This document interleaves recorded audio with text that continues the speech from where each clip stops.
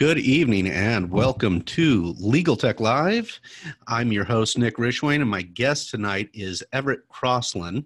Everett is the founder of Sunset Health, or sunset.health is the website.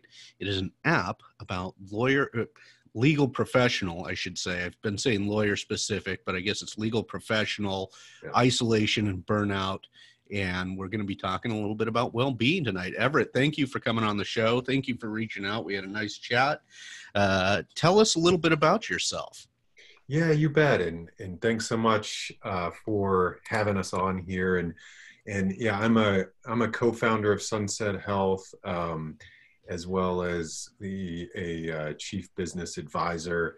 Um, and really, what the uh, company is focused on is is helping uh, reduce, mitigate, and manage uh, burnout for um, for uh, individuals in the legal profession as well as others in you know that billable hour high high performing type of uh, profession. My background is in digital medicine in particular, um, where I've uh, worked for a number of companies that uh, have where I've commercialized and launched um, digital therapeutics for everything from substance use disorder, opioid use disorder. Um, my day job is at Applied VR, where I uh, work as the senior vice president of commercial there on a virtual reality therapeutic in chronic pain and acute pain. Um, and so at Sunset Health, the, the team is really focused on marrying up uh, the you know the, a digital medicine approach to what we look at it as, as a mental health crisis in the legal field, and that is employee burnout or occupational burnout. Um, happy to kind of talk further about that, but yeah, uh, I think this is a, I think it's a, a great. Uh, there's certainly been a lot of talk about. Uh, uh, burnout and isolation and mental health issues in legal profession recently, uh, or it, it seems to have been growing more re- more recently. It seems to maybe have found a critical mass of people finally taking it serious. So I think it's a, a really excellent uh, app that you guys have here for that. Tell me a little bit. Uh, this is very much Pro Startup, Pro Founder show. Tell me a little bit about how you came to, from the digital health side, how did you decide to move into the the legal side, uh, legal health side? You know, it's it's very much by design. I, you know, my my background, I I did go to law school uh, and graduated, uh, surprisingly, but um, I went straight out of law school into the pharmaceutical industry, um, yet you know main, maintained and continue to maintain uh, close contact with a lot of my colleagues across the legal industry, and um, and I've watched uh, watched them as well as a couple of other uh, former colleagues in finance and healthcare really struggle uh, with the high pressure environment that they all have to exist in and also I, I really identify with this kind of self-selection that happens in the legal field where you know we really um, we're, we we self-select into law school as as a competitive bunch and then we kind of maintain that throughout our career. And you talk to practicing lawyers and they wear burnout as a badge. And it's mm-hmm. part of that kind of self-selection of competition. It's part of that just culture of of the legal field there are so many uh, layers of of uh, factors that breed burnout in this field, and it's um, in one sense it's fascinating. In another sense, you know, we I felt like over time what what I and, and the I know my co-founders uh, uh felt the same way that um, that over time we've developed this expertise in digital medicine and that what we were looking at in that field in this field of, of the legal profession in the field of healthcare and in the field of uh, finance that we were really seeing a lot of a lot of individuals um, who were dealing with something that requires a digital medicine intervention or at least a medicinal intervention. And and um, and so we felt like, you know, why not take our backgrounds and try to do some good here, uh, recognizing that there's a real need, and then of course there's a market opportunity as well. Um, when you talk about billable hours and things like that, real re- there's a real opportunity to measure the the effect of uh, that we can have on a on a firm. And tell me about that. Tell me or tell us, uh, our uh, former guest and friend of the show, Adam Kirpelman's here in the room with us watching as well. And Adam, if you have any questions, please uh, let us know. Um, if you tell me how you measure measure burnout just on a general generally speaking. How do you measure that? Not yeah. necessarily for legal professionals but how for any professional do you measure that? Yeah yeah. So um i mean burnout has been classified by the world health organization as a workplace phenomenon.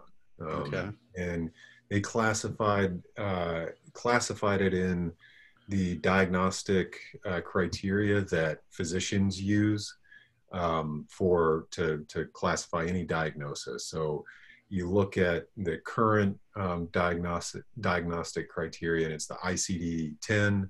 Um, burnout is described in the ICD-10. It's further described in the upcoming ICD-11, and in that description, what and and this is built by physicians, right? They right. inform this through evidence. What what they're describing is a uh, condition that has basically three different dimensions, and those those dimensions are you know, cynicism, uh, diminishing sense of self-efficacy, or that sense that no matter what I do, I can't do a good job, and I can't meet my goals, which is very important in the in, in prevalent in the legal field. And then the third is exhaustion. And when we think about burnout, I think everybody thinks exhaustion, fatigue. Yeah, absolutely, that's part of it but we're able to measure um, the presentation, each individual's presentation of burnout. And so you might present with exhaustion and cynicism. Um, and, and that cynicism might come across as not really buying into the values of your job and what you're creating um, on a daily basis. And what that translates to is you feel like you're not spending your life and your career in a valuable way and that contributes to burnout. What i may present as present I, I, probably would present as exhaustion and you know that diminishing sense of self-efficacy. And so we're able to kind of measure it in that way in very much kind of psychiatric terms. Um, and at the same time you can measure there's an assessment tool actually deployed by the american medical association that allows us to measure severity so mild moderate severe.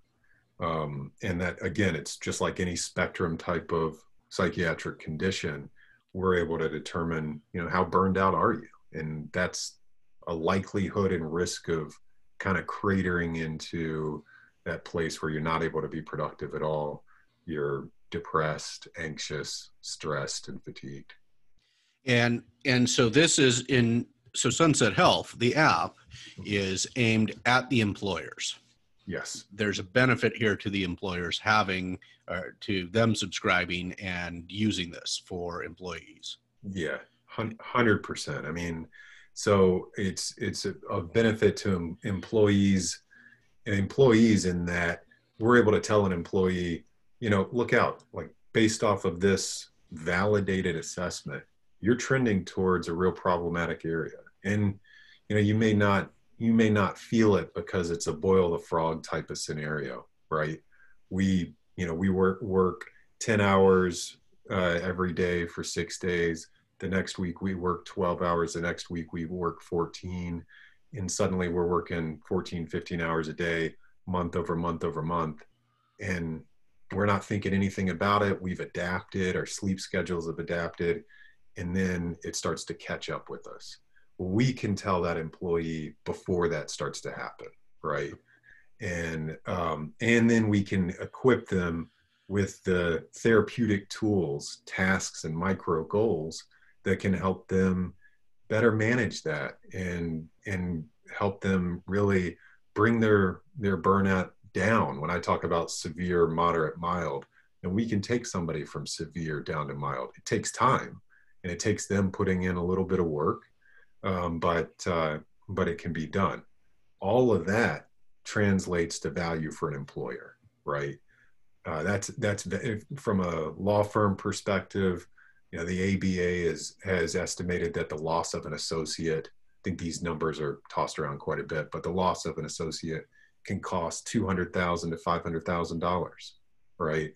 And so, and upwards of forty-four to fifty percent of associates leave before their third year.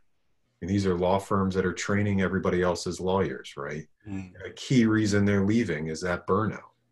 And so those are real dollars that we can help employers, specifically in this case, law firms, save. If we're able to help somebody extend kind of the the the longevity of an associate um, beyond the third year into the and help them you know go from being a junior associate to a mid level and help them really believe in the that their law firm cares about them you know and that they care about their well-being and that they're really doing something about it.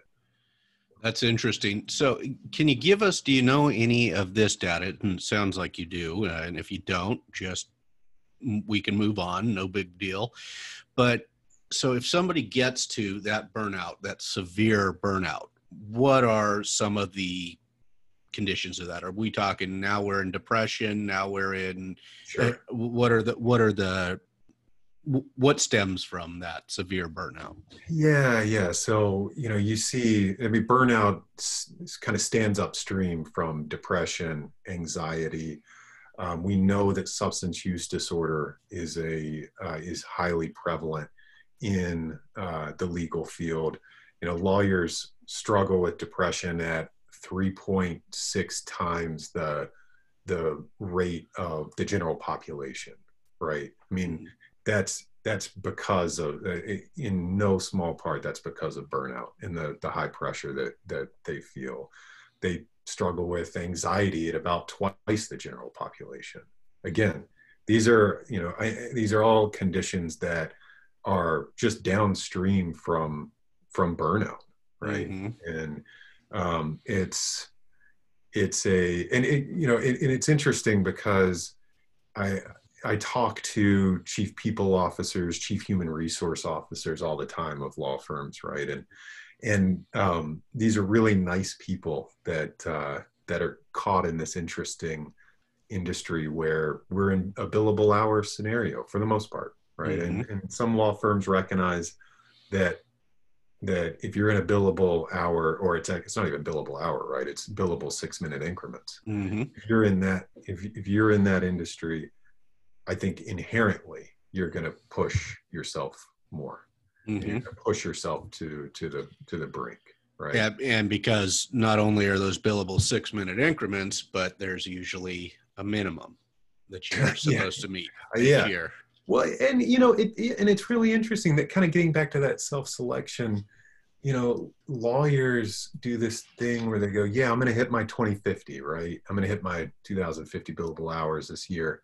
Um, but not only that, I'm going to, you know, I'm going to do more than that. Mm-hmm. And they have mm-hmm. their own personal goal, even though like the law firm that they work for has already set an extraordinary goal for them. Right.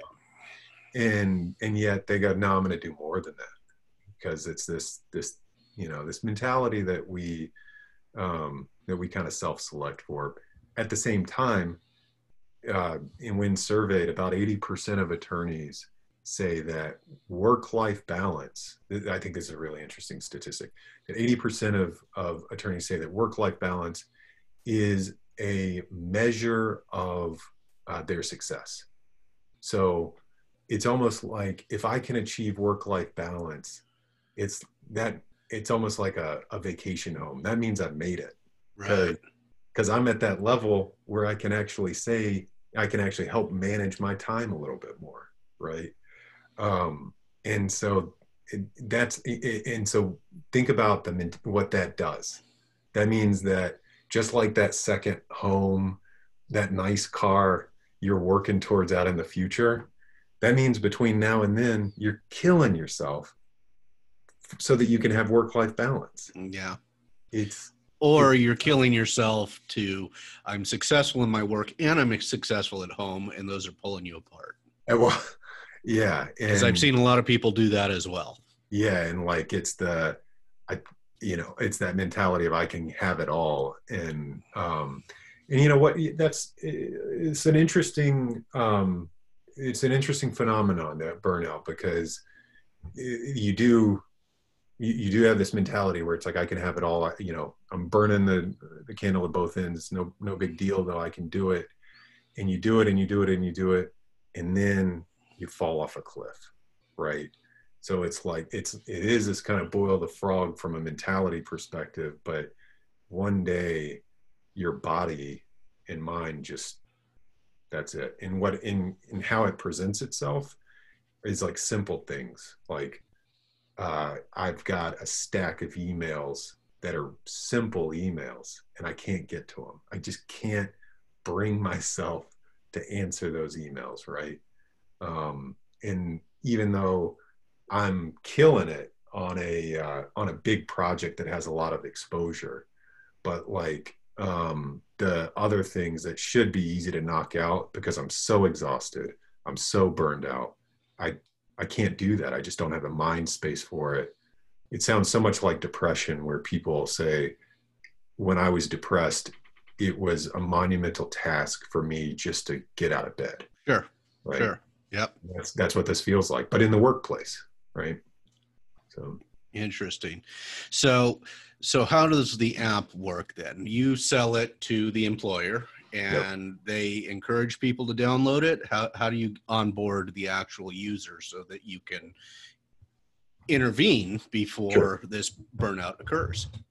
Yeah, yeah. So we we sell it to employers, law firms. Um, we're you know, we're we're selling to a, a diver, diversity of uh, employers at this time, Okay. um, and but uh, with a focus in in legal.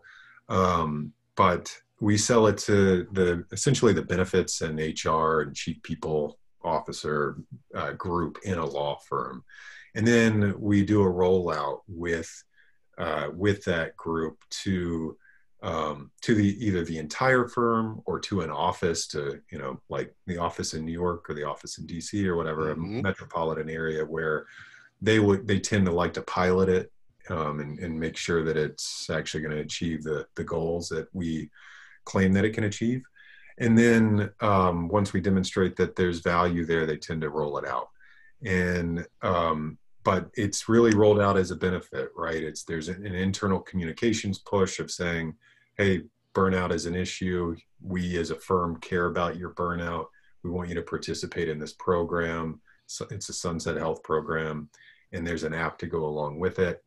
The employees uh, download it and they start to use it. The first thing that you do in the app is you take that assessment and so what we're able to do immediately in an aggregated, de-identified way, so we're not identifying individuals, but we're able to tell law firms, you know, what their baseline burnout level is. And we're able to tell them that, you know, if it's used across multiple offices, which offices are struggling, you know, is Chicago, is Chicago uh, struggling with burnout more than New York or what have you? Drilling down from there, we're able to say mergers and acquisitions is really struggling with burnout. And it's the, the flavor of burnout is exhaustion. Whereas, you know, government compliance is cynicism.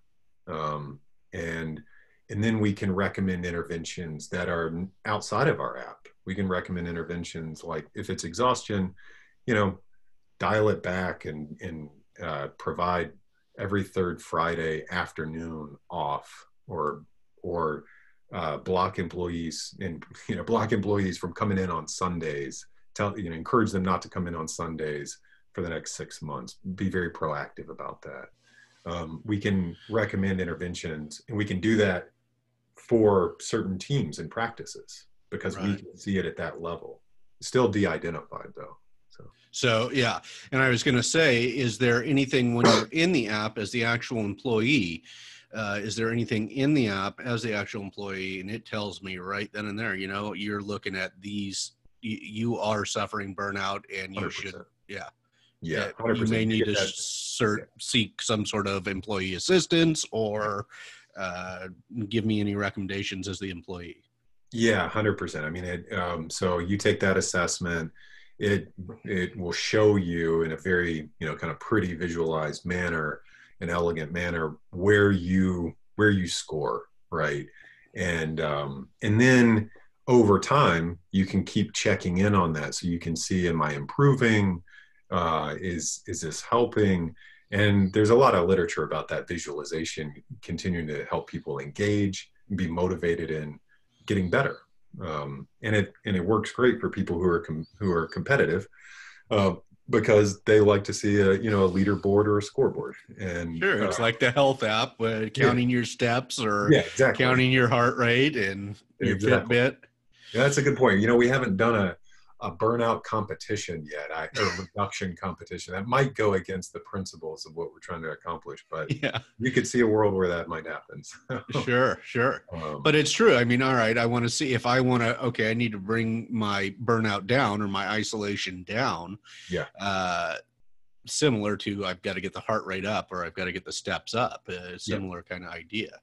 Totally, totally. I mean, it's it's you know this is uh, true health, just like any any other um, any other intervention. You know that uh, that you're we're trying to trying to spread here and disseminate. Um, you know what's nice too is that we're able to show seasonality.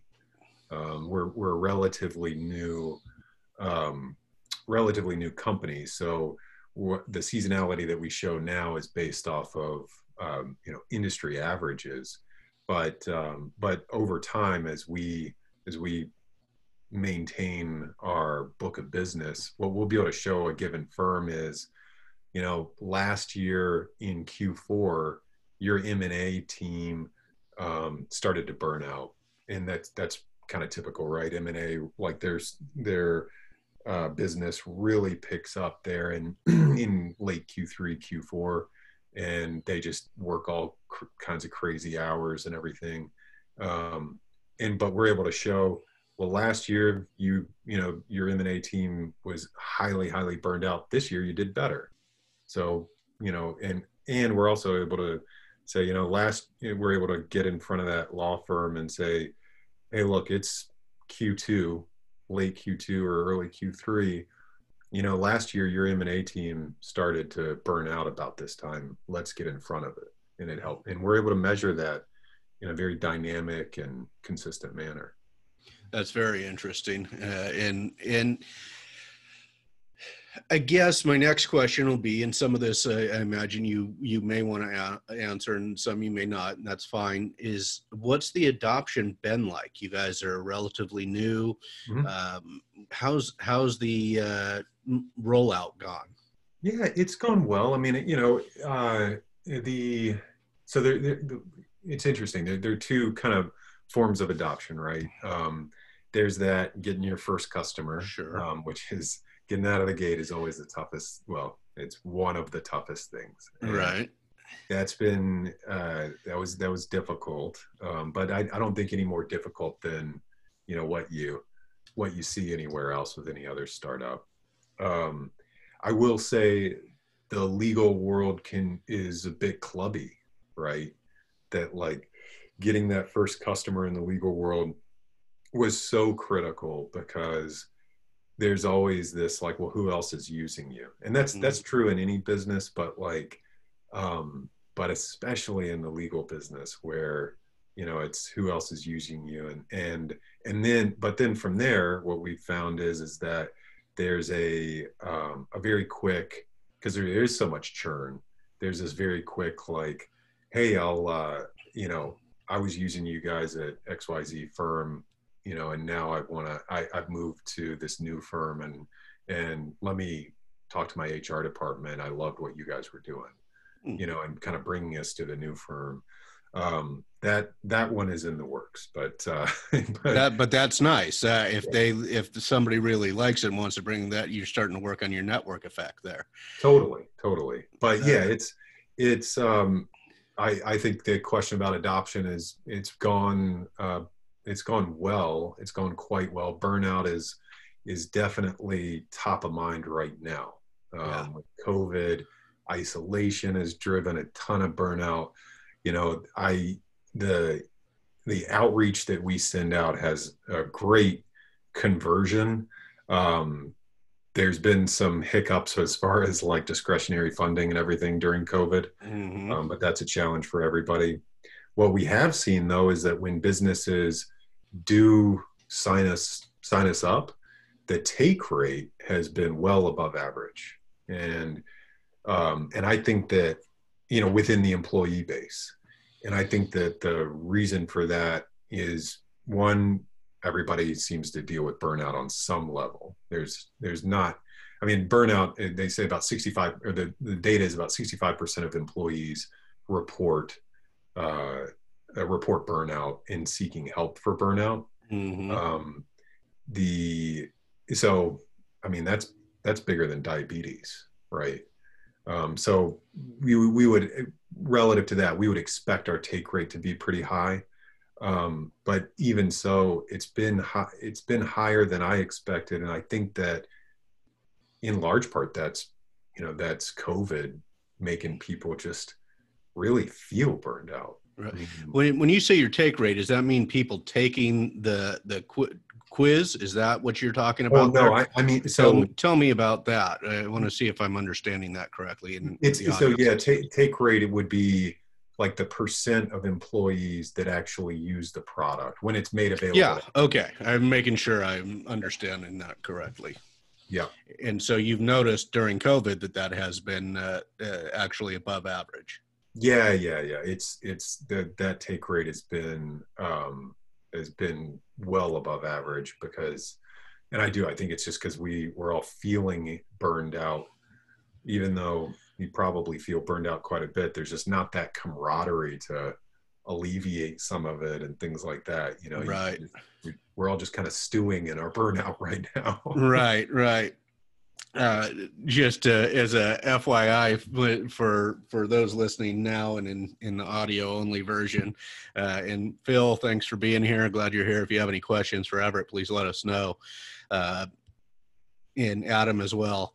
Uh, Everett and I talked about we talked about two months ago at the beginning of this, uh, the, and yeah. and we didn't know where it was going to go. It was the very beginning, and and I did take I took about a three week break from the show, uh, so that was my uh, and I noticed that I was already bored because then I was stuck at home, and once work ended for the day, I'm just stuck there without anything to do. So yeah. Uh, there's a lot of isolation, uh, and it's interesting that that you have seen some some which may have been you know uh, not not wishing it on anybody, but uh, may have been good for the adoption uh, of people willing to uh, reach out, knowing that mental health is an issue right now. Um, yeah.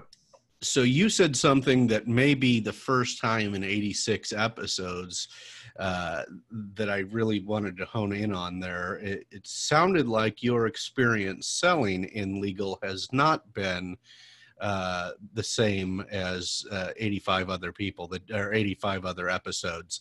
Sounded like you it sounded like the sales cycle was shorter than expected? Is that because of your experience in uh, healthcare with longer sales cycles or are you noticing a long sales cycle as well in legal? Uh yeah i think you know um yeah i come from a place where like sales cycles are 12 18 and 24 months right? Okay. Um, all right. and, and so um, i you know law firms and large businesses there's a consensus sale that has to happen. Um, there's the redlining and and the negotiations and always somebody who kind of drops in out of nowhere who uh, was always kind of lurking in the background somehow. That all still happens um, and uh, but yeah, it's a little bit quicker than healthcare in that regard. Um, Interesting. I, I guess what a perspective. Yeah, what it's all kind of relative, right? Right. Um, I would. I'll say this, um, and I yeah, I kind of said it moment um, a few moments ago. Uh, my experience in healthcare, it's interesting. Like the access that we we had and have in healthcare is um, is actually greater than the access than that I've experienced in legal. Like the you know the the ability to kind of get in and and actually pitch and present mm. um, in uh, the legal world has been um, has been more challenging than it is. You know, I can go uh, sell to Cleveland Clinic easier than I can to uh, some of these law firms, and is so the foot in the door is yeah. is harder scheduling because I, I mean in my experience in the medical world I, i've sat in my doctor's office yeah and seen the salesperson yeah. sitting there as well ready to go in ready yeah. to make their pitch yeah. uh, so what's the pitch been like in in law in big law yeah i mean it's uh, not too far afield from that okay. um, but you know, it's kind of talking, getting in with the right people. The challenge is this, too, that HR knows that they've got a problem. They, they already know this, right? There's not, we're not telling them that, yeah. You know, we're not shocking anybody by saying, hey. Yeah, the studies have been done for a while now. Yeah, that your yeah. people are burned out, right? They know that. Um, the, the, the challenge for the people in HR is, is they are, they're basically saying, we we are looking for tools, um, but we're having to balance this between the rest of the executive board who is looking at billable hours going up and down and client flow and deal flow and things like that. And so we don't, we can't have anything be a distraction. And then secondarily, you just like any sales cycle, you got to find that champion, right? That that the actual practice leader who's willing to take the time to uh, to implement this with their team, and that is really tough because nobody has the time, you know. Right. Yeah. And it is amazing because like I've sold into emergency departments and emergency department physicians at least take a pitch going down the hallway you know right but, but like a pra- the practice lead for M&A or whomever, they they don't have that time. Like I, I, I get people, I get people on the phone at 7 a.m. when they're driving into the office. Now they're not mm. driving into the office right now, but you know, that's right. That's when I was getting people and I, and I, and it's interesting. I'm getting people on the phone a little bit more with COVID, but in some instances, I feel like it's less because lawyers are instead of they don't have that free time in the car and they're just working it. They're just mm-hmm. they're just billing that time instead of instead of commuting. Right. Um and i don't blame them i mean i get it. Um but it also means that like there's a bandwidth challenge for a for somebody trying to bring in a new technology or new innovation. Um and i know a lot of legal tech today is you know is almost sold into like IT and mm-hmm. things like in in those departments. Yeah, and they're a little bit built for that. They're right. they're, kind of, they're built a little bit more a little bit easy for that easier access for sales. HR um, for us is not as right. not IT. You know, it's a little tougher. Yeah, that's interesting, and it's also the reason I I wanted to have you on the show is because this is not one of the tap, types of tech that we've covered yeah. before. Yeah. Uh, so that is really interesting. Now you're right; IT departments would be a little bit more uh, used to this kind of uh, the pitches and and trying to find the right person and those things in HR is is HR at a, at a large law firm HR have any buying capability or does it then have to go into we have to have our chief information officer on for this or we have to have managing partner sign or yeah, I mean, it varies from firm to firm, but absolutely uh, more, especially more and more, I, I think HR is going to have more buying power in our short uh, time in existence. Um, you know, I, I've seen HR have have a good budget. I will say every time I get a practice lead who says, "Yeah, I love it. I, I know my team needs this," I but they go, "I got to go take talk to HR because I don't have budget for this, but they do." Right? And and then sometimes the budget will come from the chief information officer or it comes from somewhere else. But HR for the most part has it. Um, interesting, like I've seen like the knowledge management people mm-hmm. sometimes mm-hmm. have have the budget. Interestingly, but interesting. I, I think some of that's just overlap. So. Yeah. Yeah, yeah, very interesting. And so, what is you? You've already gone to market. You're you're in the market. What is your growth? Are you guys out there seeking funding? Are you self funded? How is that all working for you?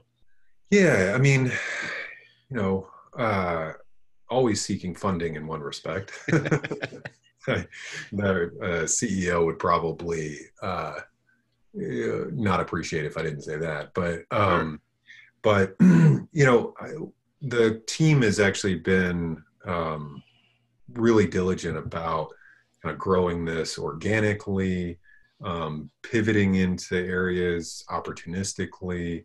And so um, beyond just the funding question, what we're what we're trying to do is is really build that network, like you said, that network in large, medium, and even some small firms where um, I think once we're in and once we really show that value, we can become just a preferred partner um, when it, the preferred wellness partner for these law firms. Because you know we start with burnout but like i said we're upstream from so many other conditions. Yeah and i, I meant meant to ask that earlier when we were on that subject. Do you plan uh, onboard features for other conditions in the future absolutely part of the roadmap right roadmap. Um, and you know, we we were somewhat strategic and also somewhat aspirational in starting with burnout. We mm-hmm. wanted to do, you know, we all come from companies, kind of where I started, where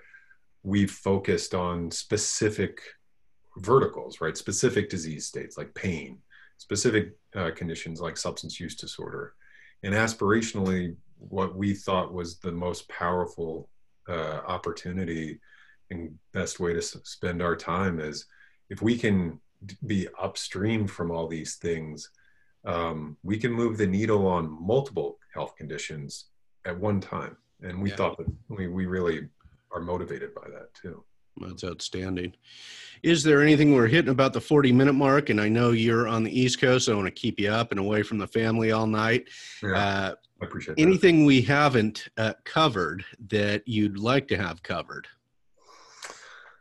um, no, not necessarily. I mean, I you know, um, just if I can do a call to action as we close up, I'm happy to do that too. Yeah, please do. Um, but uh, but no, I, I really appreciate the discussion. I think you know for all the I, there's so much discussion out there about the impact of burnout. Mm-hmm. There's so much uh, attention on mental health right now, and I think um, you know for us we we're trying to do our part. We recognize that there are multiple ways to to crack this, um, and we think that we coexist in you know within uh, a suite of of solutions. And so I would just say, you know, when I when I talk to people and they say, yeah, well, you know, we've got massage therapists that come in every Thursday, so we're good. Mm-hmm. Um, you know, I think that we need to think about our employees, and I know that a lot of people do, but think about our employees in a really holistic manner in that, you know, we help them uh, in all sorts of ways. We help them in financial wellness, we help them uh, with physical wellness through gym memberships and things like that. And um, and I think mental wellness can, if if focused on, if only focused on productivity and engagement, we're missing the mark, right? We have to fix that underlying thing, that underlying mentality, that underlying driver. And for us, we see that as as burnout. Mm-hmm. And um, and I think you know we can we can help a lot of people. So the burnout essentially being we're all right. If we can prevent something here, we can prevent it from snowballing Well, you can prevent it from snowballing and you'll you'll improve engagement you'll improve productivity don't skip over the burnout though just to say hey how do we let's do let's do an engagement survey and then do a few things You're Right. missing the point. You're just Yeah. putting a band-aid on it. Yeah. You I know. like that. Yeah, excellent. So, where can uh, our listeners and viewers find you and get in touch? Yeah, so uh, sunset.health will lead you uh, to a landing page where if you wanted to, you could go and try the, the app, download the app from the uh, Apple Store. Um, there's a link there on our web page And then in addition to that, you can click on an employer link and it'll give you some of the stats I think that I've rattled off and the costs, but it'll also allow uh, us to get in touch. And that's right there on sunset.health. Excellent. All right. So, our guest tonight was Everett Crosland, one of the co founders of Sunset Health. Stay tuned next week, episode 87. We will have Justice Text. Just text, one of the two. I'm sorry. I have to check that. Stay tuned next week. Some really cool people in the Justice Tech space. So, and and a very similar name to Justice Tech. So, stay tuned for that. that was a mouthful to end on tonight. Everett, don't disappear. Thank you for being a guest, and uh, I'll talk to you when we're done here. Thank you, Right. everybody. Thanks, Phil. Thanks, Adam. Talk to you guys soon. Thanks.